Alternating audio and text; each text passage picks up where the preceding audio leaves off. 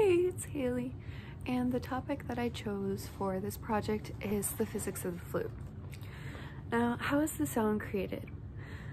Um, sound in music is possible because of standing waves, also known as a stationary wave. Um, a harmonic motion is a wave that is added to that basic fundamental wave. For a flute, most of the sound is created from the embouchure hole. The embouchure is the way your lips are held to the mouthpiece. So the embouchure hole is this hole at the very top. Embouchure is the way you place your lips. Airstream will go in and out of the hole and the air will hit the edge of this hole right here and the air will oscillate within the flute, also known as the bore. then the energy is emitted as sound out of the open holes and the end of the flute.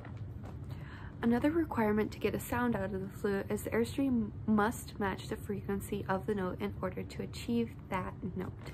So if you have kind of a lazy airstream, it doesn't really work.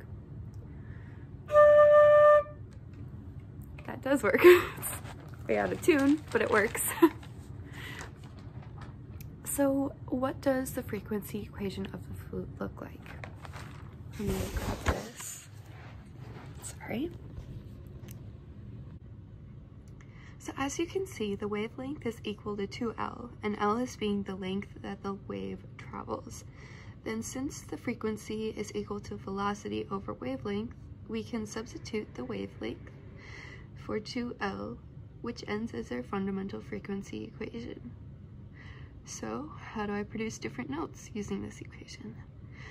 Um, we can see that L is if L is reduced, then the frequency increases, and since L is the length of the wave that travels, and higher frequency equals higher note, um, opening and closing holes will affect the note. But the velocity, also known as the airstream, affects it more, in my experience. so, so these keys affect the note, and so does airstream let's see. Since the velocity is in the numerator of the equation, that means the faster the airstream, the higher the frequency dash note. The flute usually has the fundamental pitch of C on the staff, and the airjet has a natural frequency where the flute plays strongest, which is at that fundamental pitch. So in changing the airstream, you can change the notes from that fundamental pitch. So one trick that I was taught by my band teacher by Sanson is now that was really loud. I hope you turned down your sound, but you kind of saw in the video, I didn't change my fingering at all. Just by changing the airstream, I jumped up an entire octave. Another thing that will help change notes within the airflow is rolling in.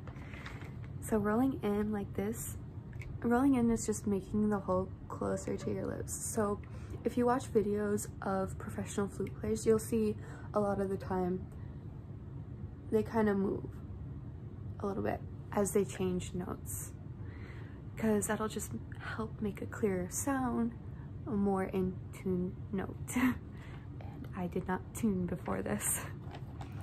So this will help the airstream directly on this edge, especially if you're overblowing to get the higher notes. It'll help more directly go on the edge and help the air oscillate and get that higher frequency or higher note. So that is all that I have. I hope you learned more about the flute and the physics behind it. And thank you for listening.